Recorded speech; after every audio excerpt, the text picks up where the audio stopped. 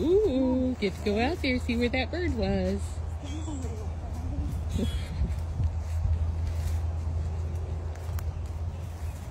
he's free. We'll see. No, not me. You're just so much more interesting, Acton. I know. Yeah, Oh, that's favorite part.